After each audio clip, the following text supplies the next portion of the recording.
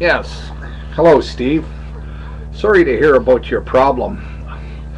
Uh, I used to belong to local 1995 Carpenters and Joiners of uh, Canada there, the one in Vancouver, BC. I haven't been a member for four or five years. But we ran across the same kind of bullshit blacklisting, uh, corruption, all this kind of stuff. And the WCB here is just right beyond belief. There have been so many workers that have been denied what they're rightfully due. Uh, we've had people that have killed themselves, people hanging from rafters, losing their families, going homeless, the whole nine yards. I have a petition up on my website. If you go punch in drywall rocker, you'll come across my ugly mug. And on it, I have a shortcut to, and the petition is asking to have the privative clause removed from the section of the act called the jurisdiction of the board. Now, I don't know for sure that you have the same section there, but I would I would imagine somewhere you do.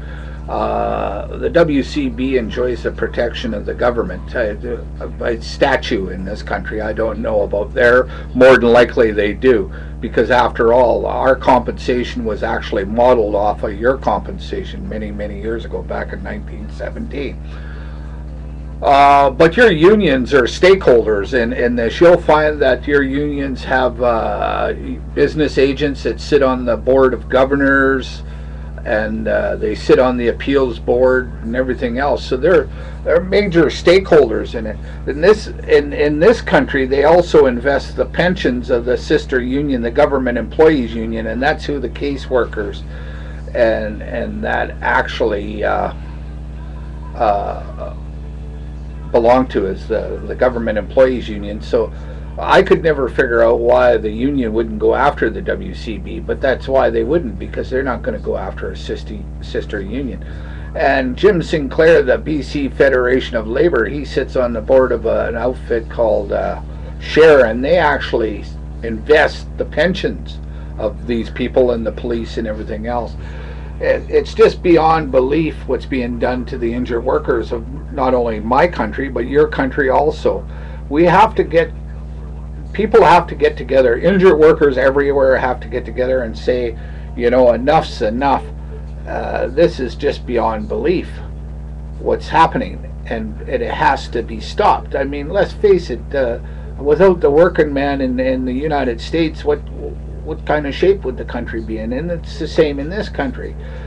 But now what they're doing is they're opening up the borders to immigration and bringing in the Mexican people. And I got nothing against Mexican people, but they're bringing them in because they don't complain when they get hurt and they don't file compensation claims, and they get shipped home the minute that they get hurt. Now, it's just incredible what's happening to you guys. The same thing happened here. We and the thing is, we had the same kind of woman here in the WCB. She she she stole nine hundred thousand dollars. The same thing, kind of thing, and uh, and. Uh, they were sticking up for her, you know, saying she was having mental problems and that. Yeah, she sure was. she was having uh, plenty of mental problems for nine hundred thousand dollars, and and and people can't get help out of these people. I mean, my my career was destroyed. They blacklisted me. I've got employers on tape blacklisting me because of my WCB claims.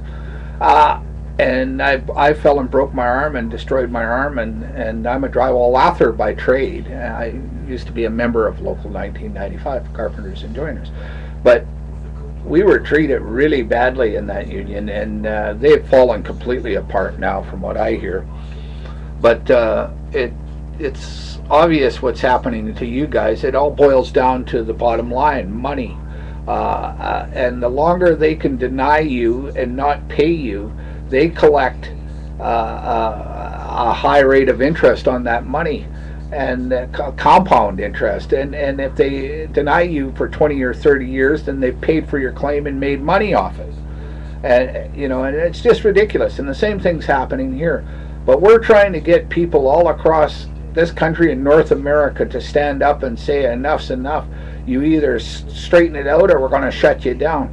Uh, I've got no problem with my American brothers uh, uh, signing my petition. Their, their their signatures are welcome as long as they put where they're from, and that on the, on the petition, I'd be more than happy to have it. Any help that we could give, uh, although it probably won't be much because our systems are so are different. But uh, I I know what you're going through. Believe you me, they destroyed my life, and I, I've lost everything that I've had. My whole life has been destroyed, and I feel sorry for you, brother, and uh, the rest of the people. And, and it's heartrending to watch that video. And and those people in that union should be bloody well ashamed of themselves. I mean, there's no way that an injured worker should have to go through this kind of bullshit.